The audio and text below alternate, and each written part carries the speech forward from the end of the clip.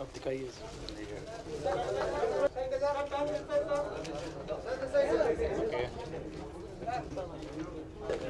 Railway மற்றும் தென்னகத்தில் உள்ள மற்றைய மூன்று ரயில்வேகளின் கால அட்டவணையை இன்று காலை சதன் தெற்கு ரயில்வேயின் பொது மேலாளர் திரு வசிஷ்ட் ஜோரி அவர் அவர்கள் இன்று வெளியிட்டார். இந்த கால அட்டவணை மக்களுக்கு மிகவும் பயனுள்ளதாக இருக்கும் என்று நாங்கள் நம்புகிறோம். இந்த கால அட்டவணையில் தெற்கு ரயில்வே மற்றும் ஹைதராபாத்தில் உள்ள தெற்கு மத்திய ரயில்வே ஹுப்ளியில் உள்ள தெற்கு மேற்கு ரயில்வே மற்றும் கொங்கன் ரயில்வே கார்ப்பரேஷன் ஆகிய தளங்களில் ஓடும் வண்டிகளின் டைம் டேபிள் கால அட்டவணை இருக்கின்றன. இந்த இதன் விலை முப்பத்தஞ்சு ரூபாய்.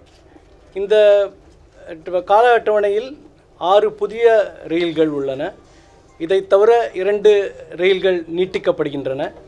நான்கு ரயில்கள் சூப்பர் ஃபாஸ்டாக அறிவிக்கப்பட்டுள்ளன.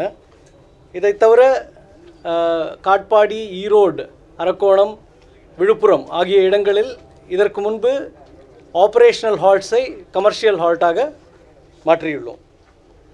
இது இந்த புது கால அட்டவணை இன்று இரவு ஆர்டவர்ஸ் முதல் அமலுக்கு வரும். அக்டோபர் இரண்டிலிருந்து சென்னை சென்ட்ரலில் மகளிருக்காக ஒரு உதவி மையம் துவக்கப்படும்.